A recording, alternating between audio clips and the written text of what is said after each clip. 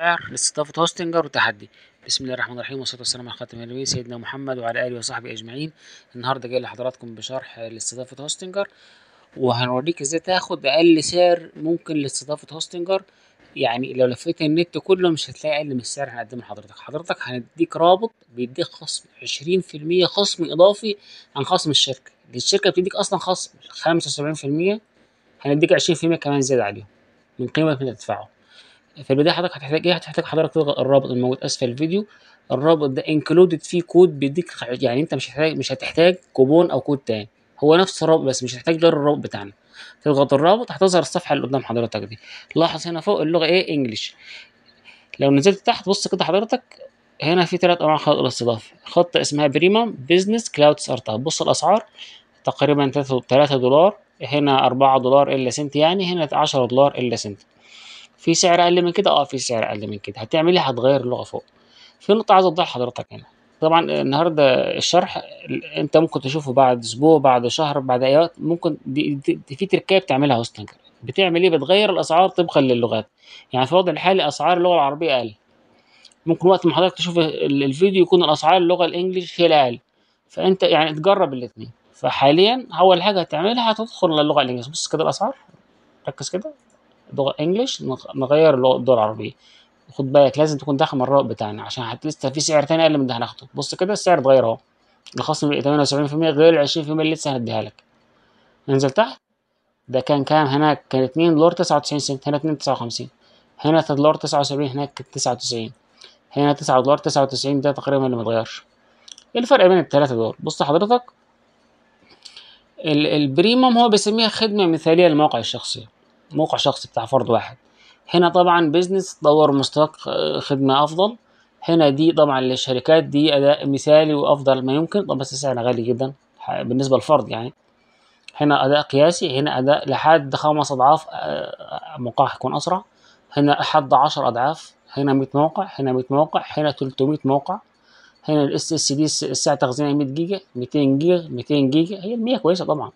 نسخ احتياطي أسبوعي هنا يومي خد بالك نسخ احتياطي يومي. كل يوم. في بيكون في نسخة احتياطية من موقعك. هنا يومي برضه SSL مجاني غير في الثلاثه متاح. نقل البيانات متاح في الثلاثه بريد إلكتروني مجاني. يعني تستقبل اعاده من الظهر domain مجاني في الثلاثه فيهم domain مجاني. أحيانا بيكون في خطة رابعة اسمها Single يعني بس مش موجودة حاليا. بتكون ده موقع واحد. دي عيبها الأساسي إن مش بيكون حتى سعرها لو كان أقل مش بيكون معاها domain مجاني وبشكل عام إحنا مش بننصح بيها لو كانت موجودة يعني. أنا أنصحك تكون اختيارك في الثلاثه دول ولو أنت فرد واحد يعني هيكون بين الاثنين دول لأن دي تكلفتها عالية جدا هي يعني كتير عليك بس طبعا هي ممتازة أكيد يعني أفضل مميزات ممكنة يعني. طيب أنا يعني هنقارن بين الاثنين دول. يعني انت اختيارك يكون بين الاثنين دول وأنا برشح لك دي. وخاصة في الوضع الحالي ومع العرض اللي إحنا بنقدمه لحضرتك مع السعر الأقل ولسه في 20% خصم كمان ودي فرصة فرصة ما تكررش. بص كده البريمم هنا أداء قياسي الأداء هنا أكتر خمس مرات 100 موقع في الاثنين ساعة تخزينها في الاثنين إيه الفروق الجوهرية بينهم؟ هنا الأداء طبعا أعلى خمس مرات هنا هنا في حاجة اسمها CDN.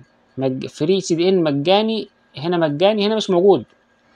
يعني إيه CDN؟ Content Delivery Network شبكة توزيع المحتوى. يعني إيه؟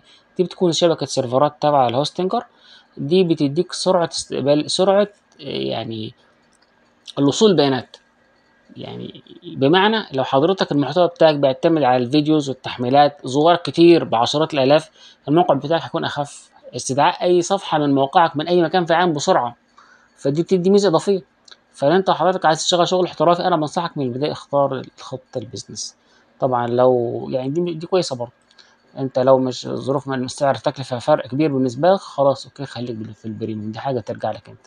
طبعا زائد في مميزات أخرى بالنسبة لل WordPress لو لاحظت هنا بص كده هنا في نسخ احتياطي ذاكر التخزين عند الطلب في أدوات ذكاء اصطناعي ال AI في مميزات أفضل بالنسبة لل Business فأنا بنصح بال Business طبعا حاجة ترجع لك. عايز تختار بينهم براحتك. هنفترض إن أنت اخترت ال Business أضف إلى السلة مثلا. يبقى أنت حضرتك هتعمل إيه؟ من البداية تاني هتدخل على الرابط. هتغير اللغة العربي تختار الخطة المناسبة بس مش هختار الفرق بين التلاتة. هنا طبعا محدش بيختار شهر واحد وما شهر واحد معهوش دو... معهوش domain احتياطي كمان معهوش domain مجاني. آه، أقل حاجة تختارها 12 شهر. بس في حاجة لاحظ كده إن السعر الأقل دايما بتاخده في, في لما تاخد مدة أقل. هنا 12 شهر هنا 24 شهر هنا 48 شهر. وبرضه دي دي النقطه الثانية اللي بنبه بنبه حضرتك ليها. دي كل شركات الاستضافة سياسة عامة عندها. بيديك offer لمرة واحدة بس. يعني إيه offer يعني أنا لأول سنة هديك سعر مخفض السنة الثانية هيكون في سعر تاني. في واحد بيطول لك المدة ومفيش حد بيديك لحد أربع سنين غير Hostinger بالمناسبة. يعني Hostinger الشركة الوحيدة اللي بتديك ال offer لحد أربع سنين يعني أربع سنين ومعاك شهرين معاك 50 شهر وبعدين إيه؟ يعني حلها ربنا يعني يعني أنت لو عايز تشتغل بجد امشي بالخطوات دي بالظبط. اختار أعلى مدة أربع سنين وسعر التجديد كان في حاجة اسمها سعر التجديد. بص هنا سعر التجديد كام؟ آه 9 دولار. هنا 10 دولار تقريبا هنا 10 دولار. كمان سعر التجديد بيكون أقل لو خدت مدة اعلى لأن أنت خدت سنة مثلا بعد السنة هيحصل إيه؟ هتجدد بالسعر ده مش هتدفع السعر ده. لازم تنتبه لدي من البداية يعني. فأنت من البداية حضرتك تشوف تختار المدة الاعلى أربع سنين أو على الأقل سنتين يعني دي حاجة ترجع ليك أنت. لو افترضت خدت أربع سنين انزل تحت كده طبعا هت- هتسجل حساب عن طريق حساب جوجل يفضل يعني. أو بريد إلكتروني لازم يكون البريد صحيح عشان ده اللي هيتبعت لك عليه بيانات دخول الخطة. هنا وسائل الدفع عندك بطاقه ائتمان فيزا في PayPal CoinGate Google Pay فوري للمصريين. آه، طبعا اتحلت مشكلة ال- الدولار. ممكن بط- في بطاقه الائتمان نفسها بتدفع بالدولار عادي وممكن عن طريق فوري بيحاسبك بسعر الدولار بتاع البنك. هنا دي مواجهه الخطة بتاعتك السعر ده ده سعر أربع سنين. هو بيقول لك هنا المفروض السعر الأصلي تدفع الرقم ده بس أنت هتدفع الرقم ده. ومع الكوبون بتاعنا أو مع الرابط بتاعنا هتدفع كام؟ بص هيديك 20 دولار فرق على طول. يعني هتاخد كمان 20 دولار خصم. دور في أي مكان في الإنترنت. مش هتلاقي الخصم ده. هتاخد السعر ده لأربع سنين. الخطة اللي هي ال full option دي الخطة أفضل خطة ال Business دي. وخمس سنين يعني خ- 50 شهر وتنام بقى. يعني ما فيش ما فيش أحلى من كده. هنا عندك كمان حاجة Whois privacy دي مجانا. دي حماية خصوصية ال domain يعني ال domain بتاع حضرتك لو حد يعمل عليه search مش هيعرف متسجل باسم مين هتستكمل بياناتك عادي. بيانات البطاقه الفيزا بتاعتك. هنا في استرداد امل من 30 يوم في حاله الخطة ما عجبتكش تدفع إرسال الدفع الآمن. هتبعت لك على الإيميل اللي أنت سجلت بيه بيانات دخول الخطه ومن خلال يعني ال link بتاع لوحة التحكم.